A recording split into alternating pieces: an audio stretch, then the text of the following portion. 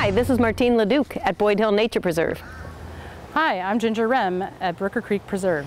This is life science at a social distance. Today we're walking through the upland habitat where it's a little more dry and sandy, sunny and hot up here, and looking for the gopher tortoise burrow. This is one of our gopher tortoise burrows. And uh, the apron of the burrow is the part out front there where they've kicked out the sand. When they were digging the burrow, they'll lay their eggs in the apron of the burrow sometimes, so you never want to step on that section.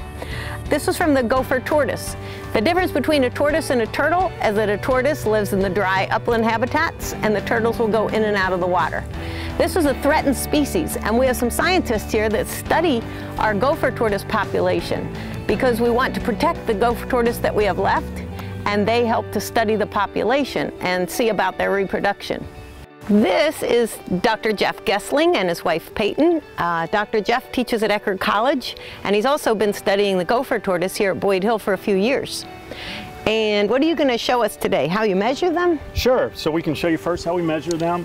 Um, there are several measurements we take. This is an adult female gopher tortoise. Um, we can tell she's an adult female if you flip her a little bit upside down. Her bottom shell is called the plastron. And if you look, it's generally pretty flat. Um, and so females have a flat plastron, whereas males have a plastron that has a deep concavity, or it's kind of like a cavity on the bottom. So we take a lot of measurements um, from both male and female tortoises. The standard measurement we take is called carapace length. This top shell is called the carapace. Um, and so we just measure it from the tip of the front to the tip of the back. So this tortoise is 282 millimeters carapace length. Maturity in tortoises is driven by their size rather than their age. Um, so she's about 80 millimeters above what maturity would be. So this is a relatively small but adult female gopher tortoise. And I noticed that her scutes are really smooth and she doesn't have those growth rings that the younger mm -hmm. ones have. Is that another way that you can tell how old she is? Yeah, so they, they get pretty smooth here maybe when they're in their, I don't know, 20s or 30s years old. Okay. And then they stay smooth for several decades from there. If we look at her plastron again, um, they gain this furrow kind of as the next step in aging.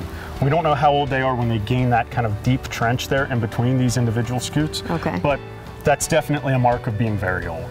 The tortoises here are part of a mark recapture study, so we're interested in knowing how old, how long they live, um, how quickly they grow, the ratio of males to females here. And so part of that is that we have to identify them um, uniquely. In a way, we have to give them a name or a number that sticks with the animal for its life. Um, and so these turtles all have pit tags. We inject the pit tag down here in the lower side of their plastron. And so if we read her pit tag, there's her pit tag number. Wow. So she's got a, a long series of digits there. The last six are the most variable. So it's kind of like putting those um, chips in your dog? That's exactly it. There have been over 350 different species of animals and insects found in gopher tortoise burrows. There are certain kinds of flies that only live in gopher tortoise burrows and they feed off of the gopher tortoise poop.